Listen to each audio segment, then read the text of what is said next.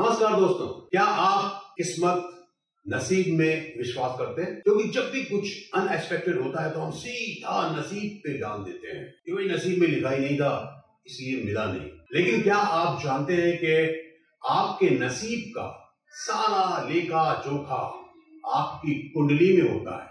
आपको ज़रूरत है एक अच्छे एस्ट्रोलॉजर की। अब आप मुझे ही देखिए। मध्य प्रदेश के एक छोटे से कस्बे में मेरा जन्म हुआ था। फ़िल्म इंडस्ट्री से मेरा कोई नाता नहीं था।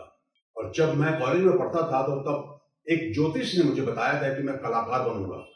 फिल्मी दुनिया में अपना करियर बनाऊँगा मुझे एक्टिंग का तो शौक था, लेकिन मुझे ये नहीं मालूम था कि मैं बॉलीवुड का हिस्सा बनूँगा।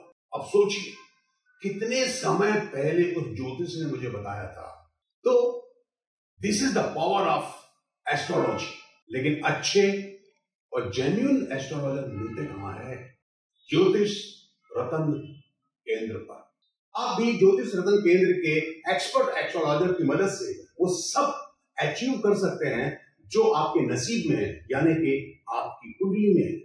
For better future prediction Jyotish Ratan Kendra is the only option highly recommended by me धन्यवाद।